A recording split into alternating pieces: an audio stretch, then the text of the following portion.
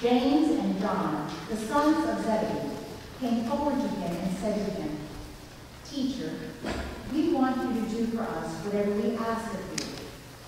And Jesus said to them, What is it you want me to do for you? And they said to him, Grant us to sit, one at your right hand and one at your left, in your glory. But Jesus said to them, You do not know what you are asking. Are you able to drink the cup that I drink, or be baptized with the baptism that I am baptized with? They replied, We are able. Then Jesus said to them, The cup that I drink, you will drink, and with the baptism with which I am baptized, you will be baptized. But to sit at my right hand or at my left is not mine to grant, but it is for those for whom it has been prepared. When the ten heard this, they began to be angry with James and John. So Jesus called them and said to them, You know that among the Gentiles, those whom they recognize as their rulers lord it over them, and their great ones are tyrants over them. But it is not so among you. But whoever wishes to become great among you must be your servant. And whoever wishes to be first among you must be slave of all. For the Son of Man came not to be served, but to serve, and give his life a ransom for many. This is the word of the Lord. Thanks be to God.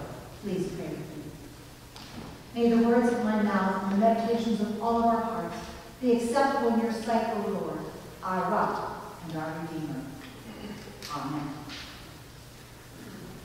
You may have heard this story, but it's worth hearing again as we ponder our passage from the Gospel of Mark.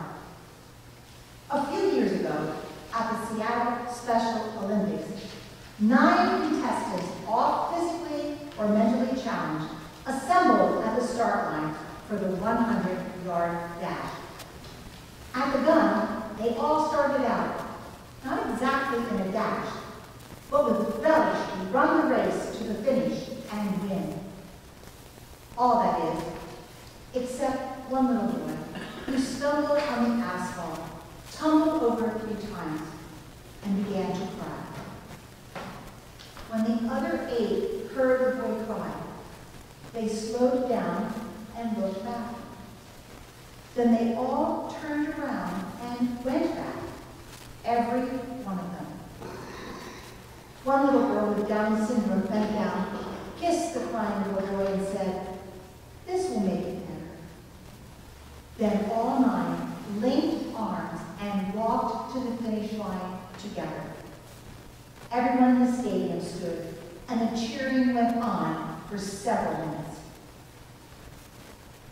The people who were there that day are still telling this story. Why? Because deep down inside of us all, we all know one thing. What matters in this life is more than winning for ourselves.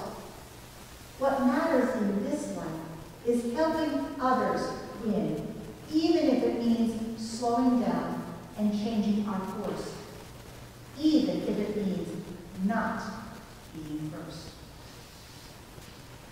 This story exemplifies what Jesus meant when he said, Whoever wishes to become great among you must be your servant. Mark's message is very revealing. James and John, sons of Zebedee, are ambitious and self-absorbed when they come to Jesus. Eugene Peterson's The Message interprets their conversation like this. James and John say, Teacher, we have something we want you to do for us. Jesus politely asks, What is it? I'll see what I can do. They respond, Arrange it so that we will be awarded the highest places of honor in your glory. One of us at your right and the other at your left. Now, Jesus already told his disciples about what he faces when he gets to Jerusalem. He described his passion and his death. Were these two not listening? Did they not grasp what Jesus was talking about? It does seem like an ongoing pattern with Jesus and his followers, his disciples. Jesus teaches about the kingdom of God, about marriage and divorce, about the pitfalls of love of possessions and wealth. And the disciples, well, the disciples hear Jesus, but they don't understand. Sometimes we want to shake our heads over the request of these two disciples. It seems ludicrous to think that James and John would ask for the highest places of honor with Jesus, even as Jesus is predicting his own death. Yet, as we dismiss the disciples' request as absurd, we also feel a sense of embarrassment for James and John. Part of our chagrin may have to do with the fact that we are all, in some ways, like those sons of Zebedee. Certainly we know better than to make outlandish, insensitive requests as the narcissistic duo does. But we want the best seats in the house. We not, may not be upfront about our self-centered feelings. We may keep it inside, not share it with others. But many of us spend our lives scheming for those kinds of privileged positions. We want that large paycheck with all the perks. We want a reputation as a strong, convincing person. We want our children to be tops in their class. Our want list is long. And whether we share it with others or not, it's still there. So are we really that different from James and John, those sons of Zebedee? We may not make outlandish requests from our Lord Jesus, but in our hearts and our minds, we often covet the most prestigious spot, the best of the lot, the place of recognition, the spotlight on the stage, so to speak. We try not to see our ambitions as negative. Instead, we use psychology and pressures to explain this type of thinking. We quit. this is the way we are. But just maybe, as John Childers notes, we have Zebedee DNA in our genes.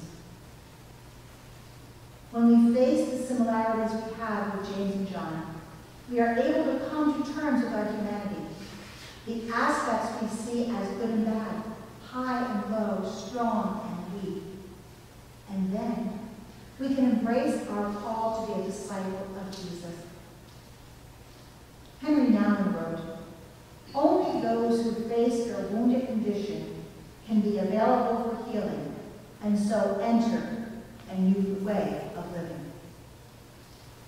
When we honestly claim our shortfalls, we enter into a journey that leads to healing and wholeness. When we are brutally honest about our egotistical ways, we begin a time of transformation. A time when we move from self-centered living to a Christ-centered life. Richard Foster, who is a contemporary writer, Christian writer, tells about receiving a phone call from a friend. The friend's wife had taken the car, and the, his friend wanted to know if Richard could take him on a number of errands. At that moment, Richard was preparing to teach a college class, and he was in the midst of preparation for that class. But since the man was his friend, he reluctantly agreed to do this chore.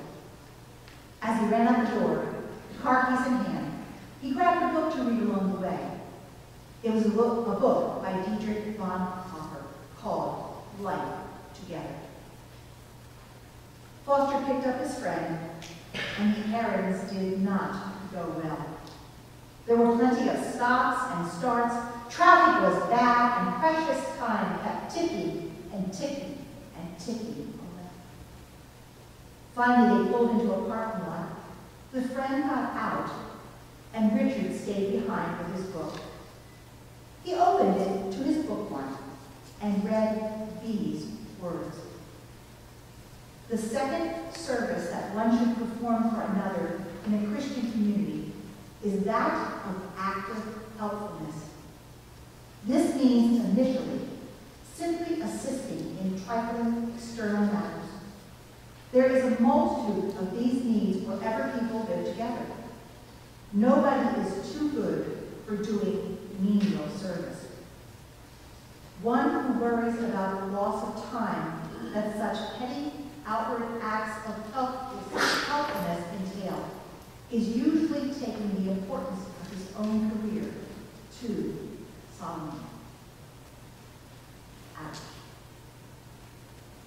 Bonhoeffer's words spoke volumes to Richard Foster and probably stabs at us too. How many times do we begrudgingly offer to help another and then stew over the time we lost in doing so? Jesus knew that James and John did not understand what the request involved when they asked him to give them the highest places of honor, one at his right and the other at his left. Again from the message we. When the other ten disciples heard of this conversation, they lost their tempers with James and John. Jesus got them together to settle things down. You've observed how godless rulers throw their weight around, Jesus said. And when people get a little power, how quickly it goes to their heads.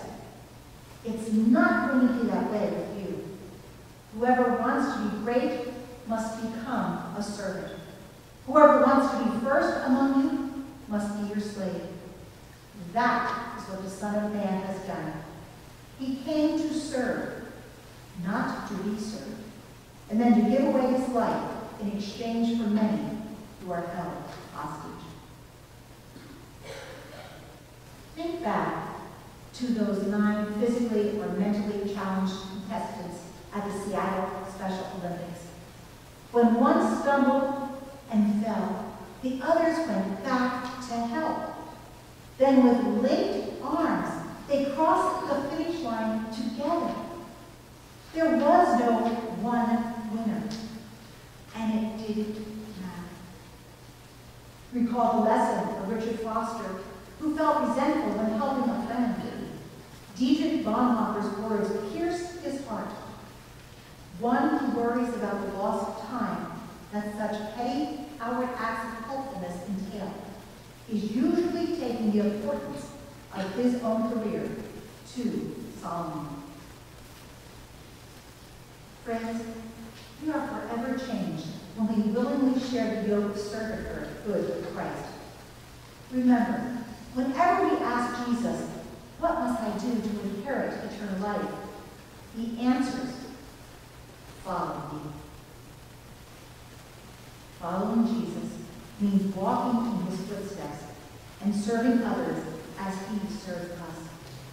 Indeed, the last, which are the humble, the helping, the meek, and the modest, are first God.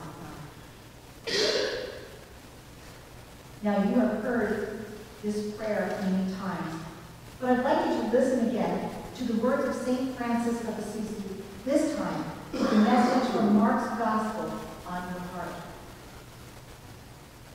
O Divine Master, grant that I may not seek so much to be consoled as to console, to be understood as to understand, to be loved as to love. For it is in giving that we receive, it is in pardoning that we are pardoned, and it is in dying that we are born to eternal life. This, my friends, is a good summary of what Jesus said in our reading from the Gospel of Mark. As Christians, we are to share the yoke of servanthood with our Lord and Savior, Jesus Christ. Let's do just that. Amen. Let's. Gracious God, you have spoken to our hearts this day. Help us to respond. Help us to share your joy and your love. Help us to know that you equip us with your Spirit. And whatever you ask us to do, you will be with us and help us along the way. In Christ's name.